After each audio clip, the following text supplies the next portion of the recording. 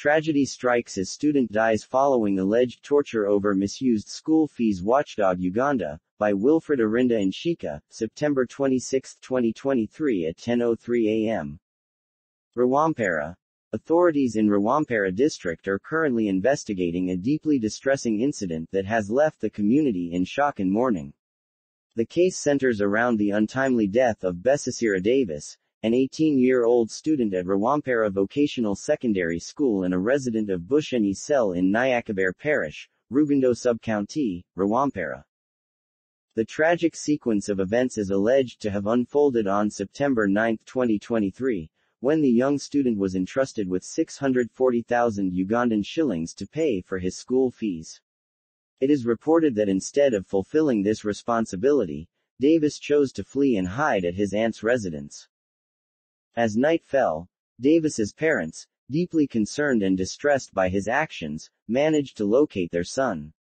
What followed was a nightmarish ordeal, during which the young student was reportedly subjected to physical torture by his parents. The ordeal continued throughout the night and extended into the morning hours. Fortunately, intervention came in the form of the area counselor, who managed to rescue Davis from his dire circumstances. Following this harrowing experience, Davis was swiftly returned to school. However, his condition had deteriorated significantly.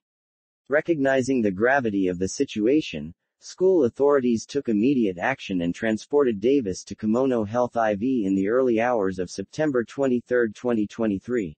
Tragically, despite medical efforts, Davis succumbed to his injuries and was pronounced deceased at 4 a.m.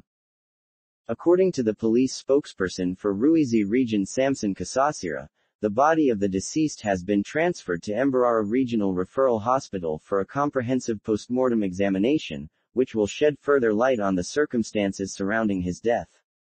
He added the father of the deceased has been detained to aid in ongoing investigations.